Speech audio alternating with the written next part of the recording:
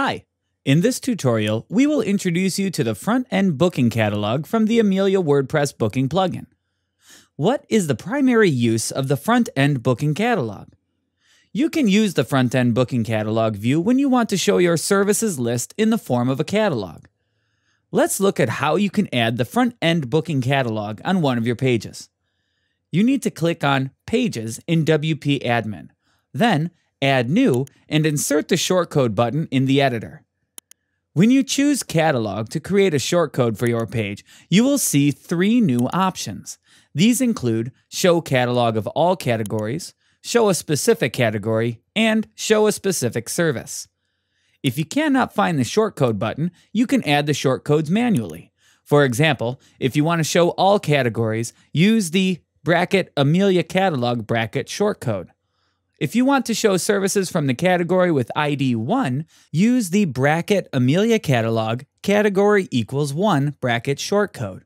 Likewise, if you want to show just the service with ID 1, use the bracket Amelia catalog service equals 1 bracket shortcode.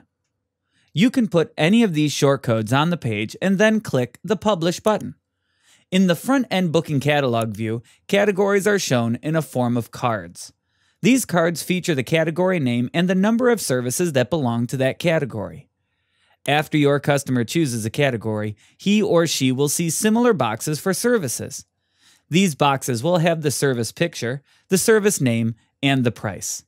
Your customers will also see pictures of employees that are assigned to the category. You can also show a category by choosing the second shortcode we mentioned before. The customer is able then to choose between services. He or she can open the desired one to find out more about it. This is the third option we previously mentioned. The opened service provides a lot of information to the customer. He or she can see capacity, duration, description, and the category that service belongs to. It is also possible to see assigned employees and extra information, if it has any extras. If the customer chooses to book it, he or she can easily continue in the same page in the wizard below. There is a difference between this wizard and the step by step booking wizard. In this wizard, you have already chosen the service. Therefore, you need to only choose the employee in the first step. Thank you for checking out this tutorial. If you enjoyed it, give it a thumbs up. Make sure to check out these other tutorials that we've created for the Amelia Appointment Booking plugin. And if you're enjoying the plugin, please share your experiences with it through your social networks. It'll help us add new and cool features to the plugin.